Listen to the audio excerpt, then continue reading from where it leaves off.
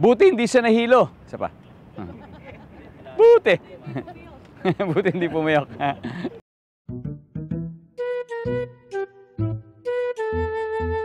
Na-experience nyo rin ba ang matinding init ng panahon nito mga nakaraang linggo?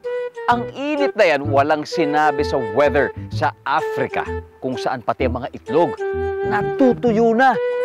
Ah, mga... Ako itlog.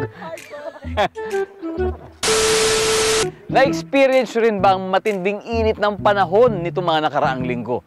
Ang init na yan walang sinabi sa weather sa Africa kung saan natin...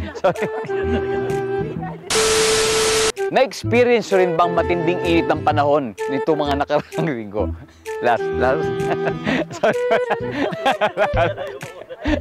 naninisi lang ako, naninisi lang. Wala, wala. Nandamay eh, no?